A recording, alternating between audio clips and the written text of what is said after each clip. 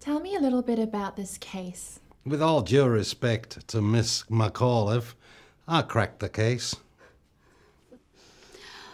With all due respect to Agent Hibbert, the case stalled before I came in. Miss McAuliffe, I don't need help hunting criminals. Perhaps that's why you don't want to give me any credit.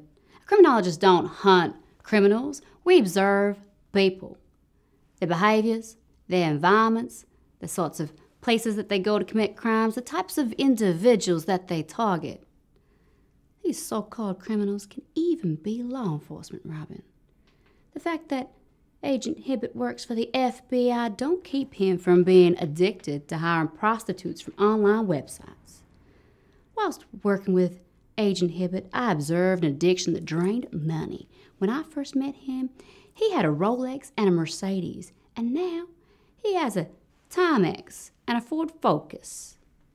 Physiologically, I noticed that his pinky finger twitches in a manner consistent of a type of carpal tunnel of somebody obsessively engaged in online activity. Of course, this could be a result of shopping on Amazon, but Agent Hibbert is constantly dodging telephone calls from India. A few inquiries revealed these to be telemarketers calling about Viagra refills.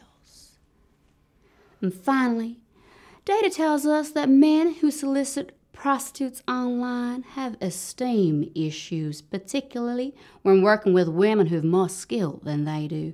This threatens a supremacy that can only be restored by hiring prostitutes online who cannot see how portly or homely their client is before agreeing to satisfy their sexual needs.